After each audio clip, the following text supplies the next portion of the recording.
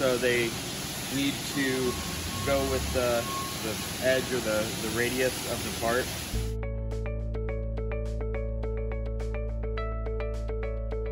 Hello, and welcome to this week's episode of Ergonomic Problem Solving Series. My name's Jeff, and today we had a customer looking to counterbalance a tool, but needed a solution that would allow for complete range of motion. They were using an air rammer tool to follow along the radius of a large stator, so we decided to go ahead with that B-19-RG. The rotational gimbal will allow the operator the range of motion they need. The ability to tilt the tool will allow the operator to maneuver that tool at virtually any position they wish to.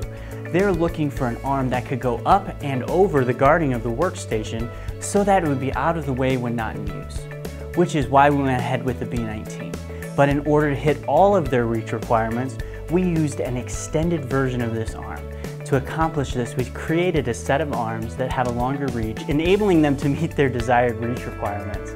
We're looking forward to solving your problems this week. Give us a call at 1-800-837-2503.